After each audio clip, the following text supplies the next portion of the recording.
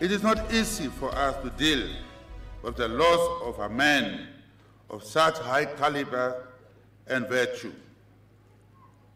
One by one, we are losing the heroes and heroines of our liberation struggle to death, and it is taking a heavy toll on our spirits. For this reason, our coming together today is an important occasion where we unite in the spirit of peace and understanding in order to console one another as we try to cope with the overwhelming grief we feel. The former army chief died at the age of 71 at the Ongwediva Medipark Hospital following the post-operation complications caused by a brain surgery.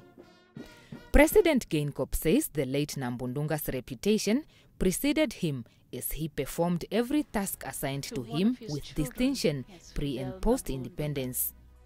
Comrade Nambundunga was definitely a man who lived an enviable life of character and virtue. Despite all his remarkable achievements over the course of his life, despite all his victories, successes, and extra extraordinary feats, he remained humble and was never aloof or condescending. This is the caliber of a true soldier who placed the lives of his brothers and sisters above his own. The late Nambundunga's work can also span across the SADC region when he served as deputy commander of the region's allied forces in the Democratic Republic of Congo from 1999 to 2000. He also participated and represented Namibia Joint Verification Committee, which oversaw the peace process in that country. Founding President Sam Nujoma, family members and comrades all recounted Nambundunga's contribution to Namibia's quest for freedom.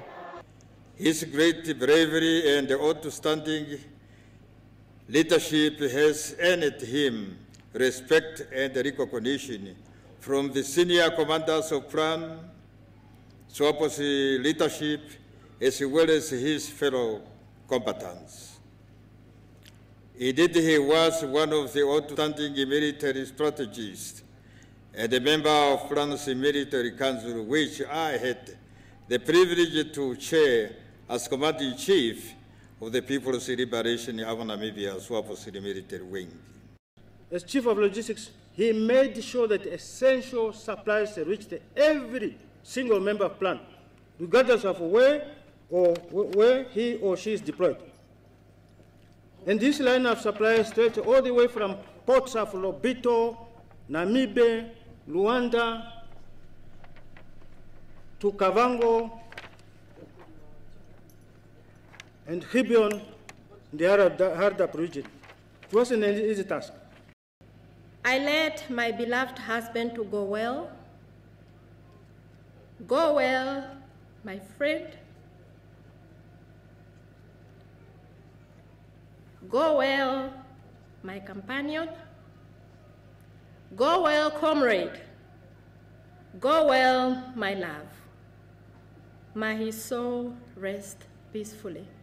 Nambundunga, survived by his wife, 10 children, and three sisters, will be buried at Omugulu Wombashe Memorial Shrine tomorrow.